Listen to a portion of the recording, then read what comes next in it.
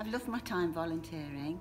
I think it's important if you've got the time to give something back to the community.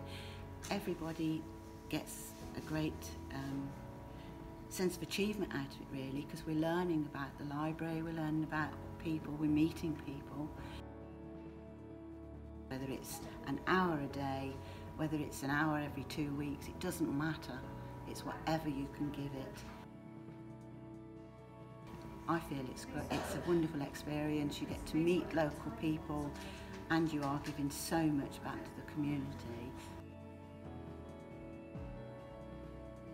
Hi, I volunteer on Tuesday mornings every week at Earlsdon Library. I get involved in all sorts of library activities, which I like to do, shelving books on the computers, uh, but I also like helping everybody find the books that they need. Really enjoy volunteering at Earlsdon Library. I feel as though I'm giving something back to the community and keeping the libraries open. Jill, it's been a real benefit having the volunteers here.